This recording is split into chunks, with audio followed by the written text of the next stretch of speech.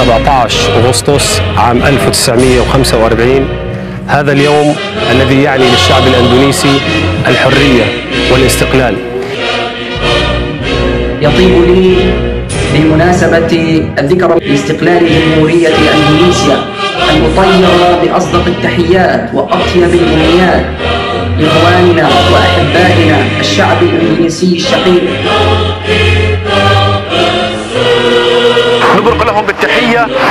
في ذكرى الاستقلال السادس والسبعون الذي يمر في ذكراه في هذه الأيام.